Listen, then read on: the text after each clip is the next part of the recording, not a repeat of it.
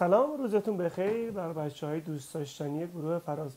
امروز طبق سفارش هایی که علی کیهان منش عزیز استاد عزیزم داشتن گفتم که براتون یه آموزش مختصر داشته باشم از فرستادن لوکیشن بدون اینترنت. حالا اگه آنتن ذره هم باشه پیامک قطعا می‌تونه کمکتون کنه از این روش.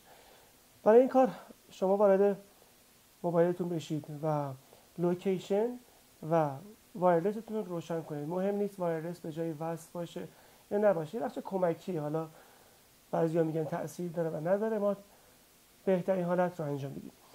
این کاری که کردید وارد نقشه گوشیتون بشید و دگمه خود location رو بزنید تا دقیقا جای شما رو مشخص کنه. حالا مهم نیست شما نقشه رو load کرده باشین یا نکرده باشین.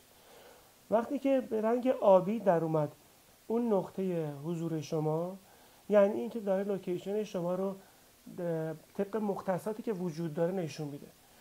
شما روی این بخش وقتی که دستتون رو نگه دارید انگشتتون روی این location نگه دارید یک pointer قرمز یک آیکون قرمزی ظاهر میشه که وقتی این آیکون هست پایین هم location شما رو با عدد نوشته. مثلا تو اینجا 35 46 58 نقطه 7 و الی آخر نوشته. شما وقتی این رو کپی کنید و به صورت پیامک بفرستید برای دوست امداد کمک. حالا هر کسی که می‌تونه به شما کمک کنه می‌تونه در آن واحد ببینه شما کجایی و به شما امداد رسانی کنه یا راهنماییتون کنه که به کجا برید و چه کاری انجام بدید.